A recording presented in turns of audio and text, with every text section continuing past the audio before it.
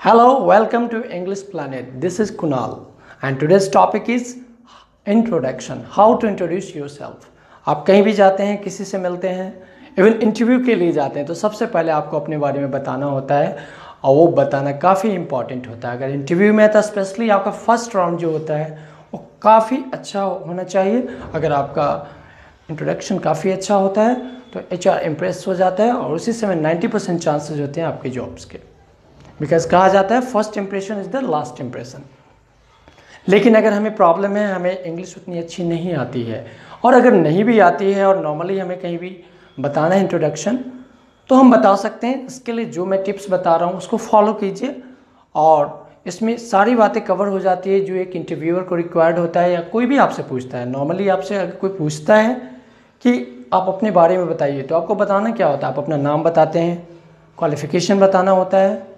आप कहाँ से बिलोंग करते हैं ये बताना होता है। अगर आपके पास वर्क एक्सपीरियंस है तो अपने वर्क के बारे में बताते हैं कि क्या एक्सपीरियंस आपको है।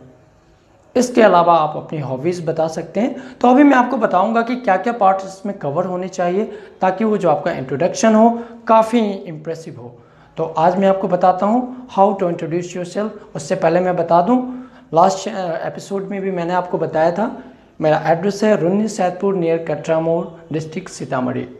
और मेरा नाम है कुणाल। मेरा जो इंस्टीट्यूट का नाम है, वो है इंग्लिश प्लानट आप इसे सब्सक्राइब कीजिए, ताकि आपको जो भी हमारे नई वीडियोस आते हैं, वो आपको टाइम टू टाइम मिलते रहें और आप इसको देखते रहें। ठीक है? So now let start introduction अगर मुझे किसी को भी इंट्रोड्यूस करना है तो क्या करते हैं? सबसे पहले अपना नाम बताना होता है। नाम बताने के अलग अलग तरीके हैं। कोई बोलता है माई नेम इज़ कोई बोलता है आई एम कोई बोलता है दिस इज़ माई सेल्फ नहीं बोलना है। बहुत लोगों की आदत है, वो बोलते हैं माई सेल्फ जैसे मैं कुणाल हूँ तो मैं बोलता हूँ माई सेल्फ इज़ कुणाल। ये टोटली इनकरेक्ट है। तो आप क्या बोल सकते हैं? आप बोल सकते हैं लाइक माई नेम इज़ अगर आपका नाम कुणाल है, राज है, कुछ एग्ज़ाम्पल लेते हैं, जैसे माई नेम इज़ राज तो मैं लिखूँगा माई नेम इज़ राज तो सेम आपको बताना है my name is Raj I am Raj और this is Raj my name is traditional है, जो हम पहले से बताते आ रहे हैं, किसी से पूछते हैं तो वही बताते हैं माई नेम इज़ कुणाल उसके अलावा आई एम ये भी काफ़ी अच्छा है आई एम कुणाल आप बोल सकते हैं, या आई एम राज बोल सकते हैं. फिर जो आजकल ट्रेंडी है, जो स्पोकन इंग्लिश में आता है, ऐसे भी आप देखते हैं, कहीं भी एक्टर और एक्ट्रेस अगर वो आते हैं किसी भी एपिसोड में या किसी भी सीरियल में या कहीं भी एंकरिंग के लिए आते हैं तो अपने आप को इंट्रोड्यूस करते हैं। इंट्रोड्यूस अगर आप देखते होंगे सही से तो आपको, आप सुनते होंगे, वो बोलते क्या है? दिस इज़ ऑलवेज यूज़ किया जाता है this is so trendy English कहता है दिस इज़ यूज़ करना।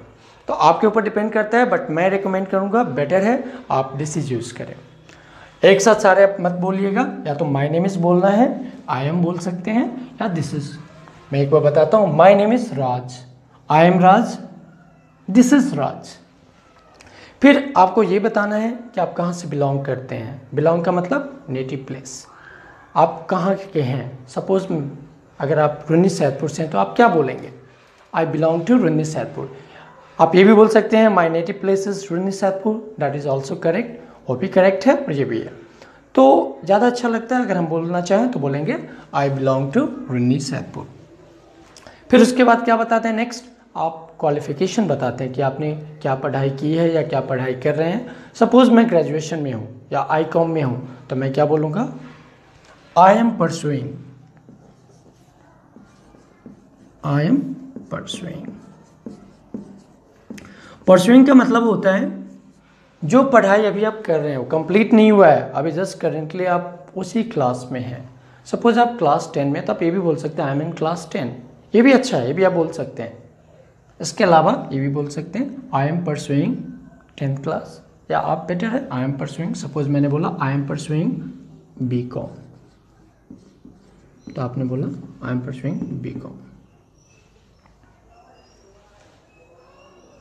तो बी कॉम का मतलब होता है कॉमर्स बैचलर इन कॉमर्स तो आपके ऊपर डिपेंड करता है, आप जिस क्लास में भी है, आप उस क्लास का नाम लिख सकते हैं. तो सपोज़ मैं बी कॉम में हूँ तो मैं लिखूँगा I am pursuing B com इसके बाद नेक्स्ट क्वालिफिकेशन जब हो जाता है, तब आप अपने फैमिली के बारे में बताते हैं कि आपका फैमिली बैकग्राउंड है क्या।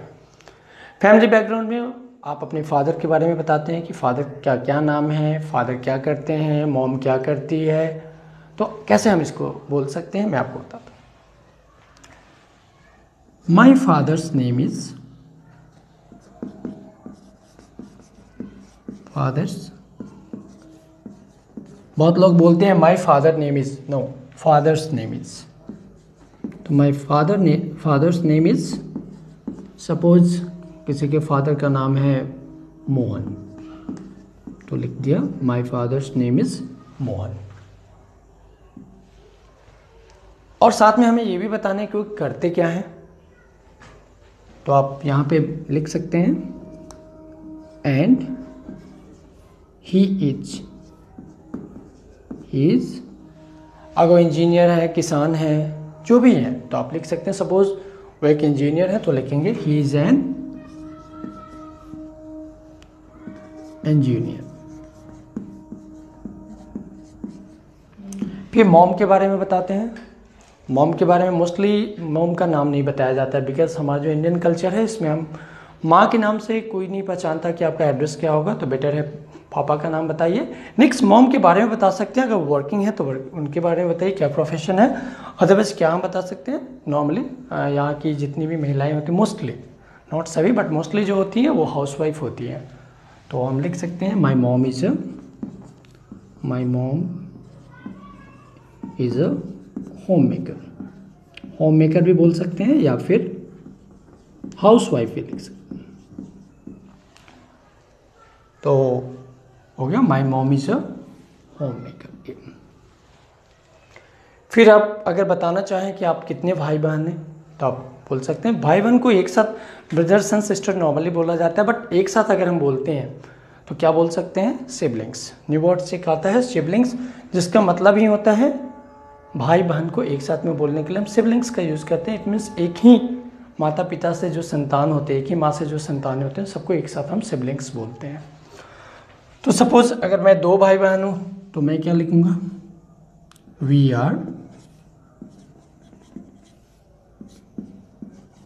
two siblings siblings इसके बाद अगर आप ये बताना चाहते हैं कि मैं सबसे बड़ा हूँ या सबसे छोटा हूँ या बीच में हूँ या जो भी आपका नंबर आता है उसमें, आप बता सकते हैं। अदरवाइज़ आप नॉर्मली बताइए we are two siblings three siblings जितने भी हैं इतने सिबलिंग्स बताकर नेक्स्ट आप आ जाते हैं अपने हॉबी के बारे में। तो अगर आपकी हॉबी है तो लिख सकते हैं जैसे about my hobby about my hobby okay मैंने लिखा about my hobby about my hobby लिखा इट मीन्स मुझे केवल एक हॉबी बताना है। लेकिन लोगों के एक से अधिक भी हॉबी होते हैं। तो अगर मेरा अगर एक से अधिक हॉबी है तो उस केस में हॉबीज लिखेंगे। तो अबाउट माई हॉबीज नो अगर सिंगल हॉबी है तो क्या लिखेंगे? अबाउट माई हॉबी जो भी आपका हॉबी है, आप लिख सकते हैं। सपोज़ क्रिकेट खेलना मेरी हॉबी है तो मैं क्या लिखूँगा? About my hobby playing playing cricket लेकिन अगर मेरे पास दो हॉबी है तो मैं ये लिख सकता हूँ about my hobbies playing cricket and listening to music अगर मेरा म्यूज़िक भी हॉबी है तो। तो अपने अकॉर्डिंग जो भी हॉबी आता है, आप वहाँ पे डिस्क्राइब कर सकते हैं। तो एक ब्रीफ इंट्रोडक्शन है आपके बारे में। या आप किसी के बारे में बताना चाहते हैं, अपने बारे में बताना चाहते हैं तो ये सब बातें कवर होनी चाहिए।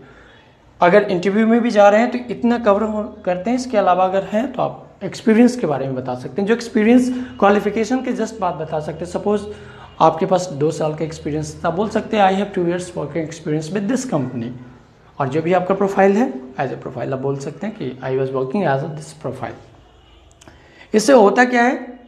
सामने वाला काफ़ी इम्प्रेस हो जाता है। सपोज़ आप किसी रिलेटिव के यहाँ गए उन्होंने बोला, आप अपने बारे में बताओ। अगर आपने इंग्लिश में बताया अपने बारे में, और आपने बताया आप क्या करते हैं, क्या नाम है, कहाँ से बिलोंग करते हैं नॉर्मली आपने बताया तो इम्प्रेस हो जाते हैं। उनको ये भी नहीं पता चलता कि आपको कितनी इंग्लिश आती है या नहीं आती है। यस बट उनको एक बात ज़रूर पता चलता है कि आपको अच्छी इंग्लिश आती है। बिकॉज़ आपने केवल इंट्रोडक्शन बताया है और जो बताया है ऑलरेडी आपको पता है कैसे बताना है। तो बेटर है, आप जो इंट्रोडक्शन बताते हैं, वो काफ़ी अच्छा